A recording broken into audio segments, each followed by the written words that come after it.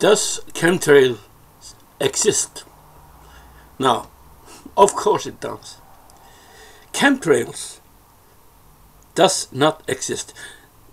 What you think are chemtrails are just contrails, condensation trails, consisting of nothing but water and spent fuel,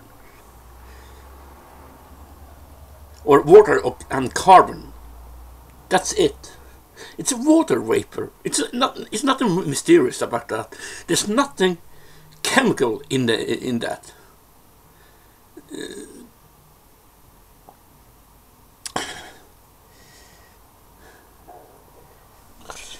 So, why does people believe that contrails are chemtrails? Well, perhaps they need to believe it. Perhaps they need to have something to Uh, blame governments for.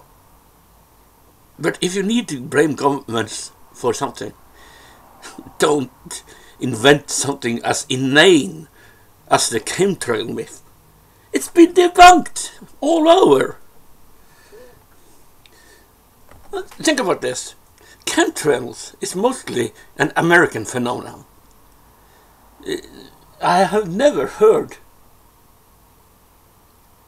ex uh, about existence of chemtrails in any other countries. Here in Norway, we never talk about chemtrails. You know why? Because we know it doesn't exist.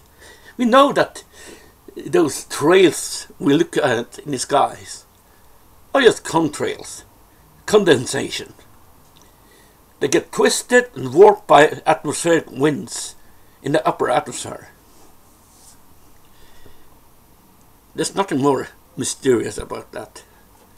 So please, uh, get your get your head up, heads up from the gutter, and learn some common sense. Okay?